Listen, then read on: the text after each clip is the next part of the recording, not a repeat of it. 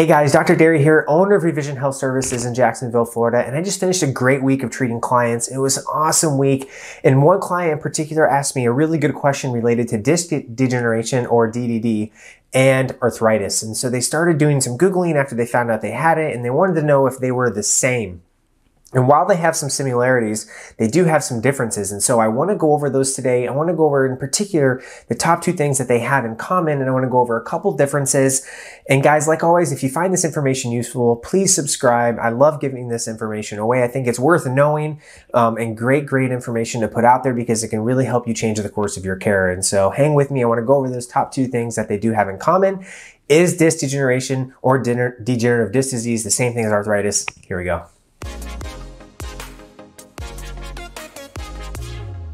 Hey guys, so the question I got is arthritis the same thing as degenerative disc disease? And so I want to break that down for a second. So arthritis is more related to like synovial joints. Uh, classic joints that we can think of are like your facet joints in your back or your hip or your knee or your shoulder where there's usually some joint fluid in there and then you have these smooth surfaces that rub on one another. And that over time, those smooth surfaces start to become not quite as smooth, right? So they start to have a little bit of um, like jaggedness to the joint surface, maybe some bone spurs, maybe a little bone chip, or just changes to the joint surface. And we can see those with uh, uh imaging, simple imaging such as x-rays or even MRIs, and you can start to feel some of those symptoms as well.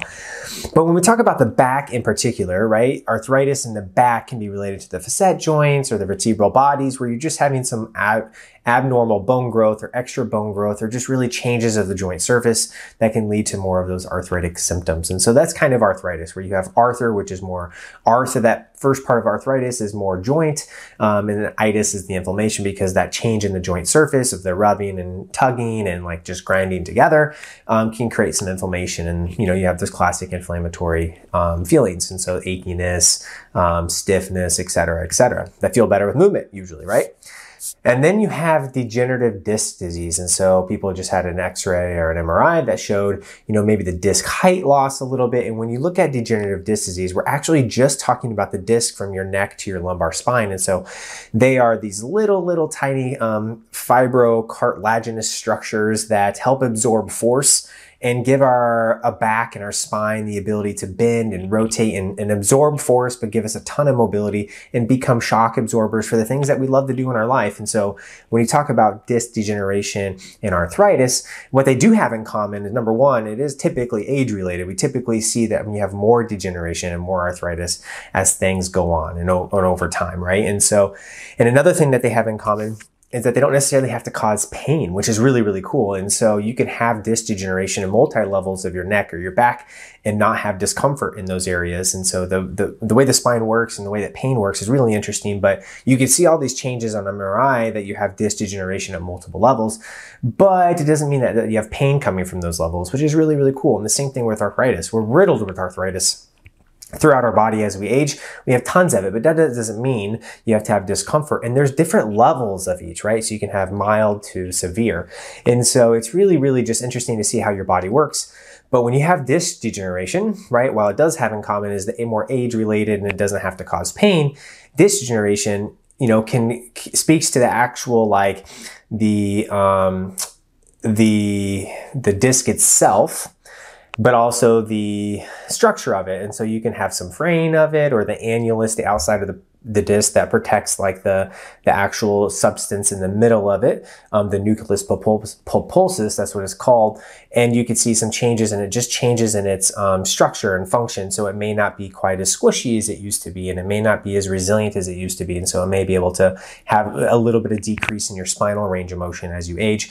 And then another thing that I also see with disc degeneration is that the disc height changes as well. And so people get a little shorter and they lose a little bit of height and that's very, very common as well. And so while they are both very common diagnoses, I, you know, I don't like to call them diseases because everybody has them, right? A disease can, implies that it can be cured, and while it can't be cured, the level of our pain and the the the amount of pain that you feel when you have that stuff is variable between everybody, right? Everybody experiences it a little bit differently, and so those are really really cool things. Um, you know, and the disc degeneration can lead to a little bit more arthritis at times because if you have a decrease in space of your disc, your whole vertebral column shrinks a little bit, which you can have little increased pressure and wear and tear of your disc or of your facet joints in your back. And so, like I said in the beginning, they do have a lot of things in common and they typically go hand in hand. Like when I see one, I see another.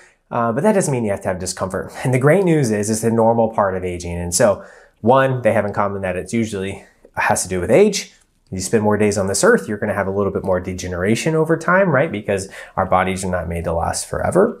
And they don't have to cause discomfort, which is really, really neat. So, what we should call this stuff is just normal parts of aging. And so, are they the same thing? Technically, no. Degeneration or disc degeneration, arthritis are technically not the same thing, but they have a lot of connecting parts and they tend to come together. So you don't really treat them very differently. Um, you know, when I treat the the people with these type of diagnoses, usually the treatment's pretty close to each other. You know, maybe some differences here and there, but overall, not that bad of a thing to have. It just means that you know you've seen a, a couple moons in your in your lifetime. So, are they the same thing? No, but they have a lot of things in common. And guys, if you like this material, please subscribe to the channel, leave some comments. I love just engaging in some discussion. Otherwise, as always, stay guys, stay healthy, keep moving, and take care of yourself.